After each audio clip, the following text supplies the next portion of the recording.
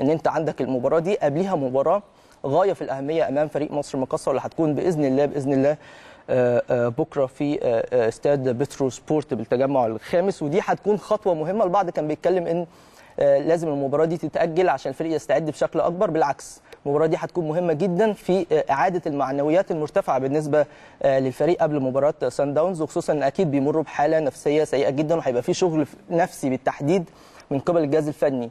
مع اللاعبين خلال الفترة آه، دي. فبالتالي مباراة مصر المقاصه بالعكس جاية في وقتها. النادي الأهلي عنده بطولة أخرى بينافس عليها حتى لو ما وفقنا- ما وفقناش وصعدنا لدور الأربعة من بطولة دوري أبطال أفريقيا. أنت بتنافس بكل قوة على بطولة الدوري بتنافس بكل قوة على بطولة الكاس. آه طبعا الأهمية أكبر بالنسبة لبطولة دوري أبطال أفريقيا لكن لو ما وفقتش خلاص هتركز على البطولات المتبقية آه، بالنسبة لفريق آه، النادي الأهلي. فبالتالي البداية والخطوة الأولى بالنسبة للفريق من خلال مباراة مصر المقاصة بكرة بإذن الله بإذن الله الفريق يقدر يحقق انتصار جيد بأداء جيد يدي معنويات مرتفعة وحالة نفسية تكون أفضل بالنسبة للاعبين قبل آه، مباراة آه، سان داونز آه، الجنوب أفريقي بإذن الله اللي هتكون يوم السبت القادم. وهنا رسالة بالنسبة لكل لعيبه ال- النادي الأهلي المتواجدين الفترة آه، آه، دي طبعا اللي بيشاركوا وبالتحديد القائمة الأفريقية بالنسبة للاعبين أو بالنسبة لفريق آه، النادي الأهلي. أنتوا لعيبه النادي الأهلي أنتوا أحسن لعيبة في أفريقيا أفضل لعيبة في في في أي دوري في الوطن العربي أحسن لعيبة موجودة في النادي الأهلي؟ لازم تثقوا في نفسكم بشكل كبير جدا. كبوة وارد إن أنتوا تتعرضوا آه، ليها. لكن الأهم إن أنتوا ترجعوا بسرعة جدا وتسعدوا كل جمهور النادي الأهلي التعود منكم آه، على كده. فما تركزوش خالص في أي آه، كلام خلال الفترة دي. ركزوا بس في إن أنتوا إزاي تردوا الاعتبار بالنسبة للنادي الأهلي وجمهوره. من خلال المباراتين بإذن الله المقصة وبعدين مباراة سان داونز واللي أكيد هيكون في مساندة كبيرة جدا. بالنسبة آه، آه، من قبل كل جمهور النادي الأهلي للفريق في آه، هذه المباراة. الجمهور بقى الوقت ده محتاج ال- الجمهور جمهور النادي الأهلي.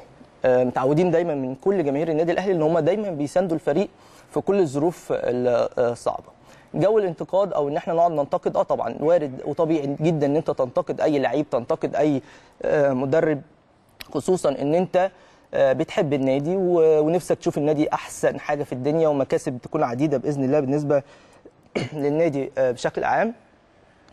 لكن لازم يكون انتقاد بناء.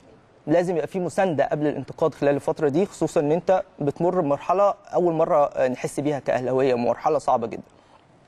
فبالتالي هنا دور جمهور النادي الأهلي لازم يقف ويساند الفريق بأقوى شكل آه، ممكن خلال المرحلة الحالية. فبالتالي آه، ده دور ال- الجمهور وإن شاء الله بإذن الله جمهور النادي الأهلي في الموعد دائما. لما يكون في أي ظروف صعبة بنمر بيها الفريق بتلاقي الجمهور موجود بالشكل ال- ال- الجيد والشكل المناسب والجميل جدا. إن معظم أو مش معظم كل جمهور النادي الأهلي عايز يروح المباراة اللي أنت مغلوبها أصلا 5-0 اللي أنت أمالك فيها ضعيفة هو ده جمهور النادي الأهلي اللي بيدور على تذاكر عشان يروح يساند الفريق. في اصعب الظروف إن لم تكن أو إن لم يكن الظرف الأصعب على مدار تاريخ النادي الأهلي. فإن شاء الله كل التوفيق بالنسبة للنادي الأهلي في مباراته بإذن الله سواء مباراة المقصه آه، بكرة. ودي مباراة مهمة جدا وأصبحت آه، ليها أهمية أكبر شوية من مباراة سان داونز خصوصا بعد إن فرصة خلاص بقت ضعيفة.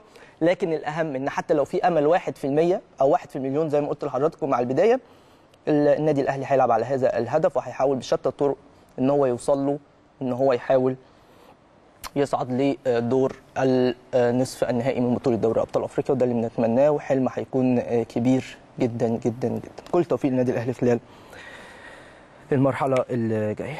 طيب.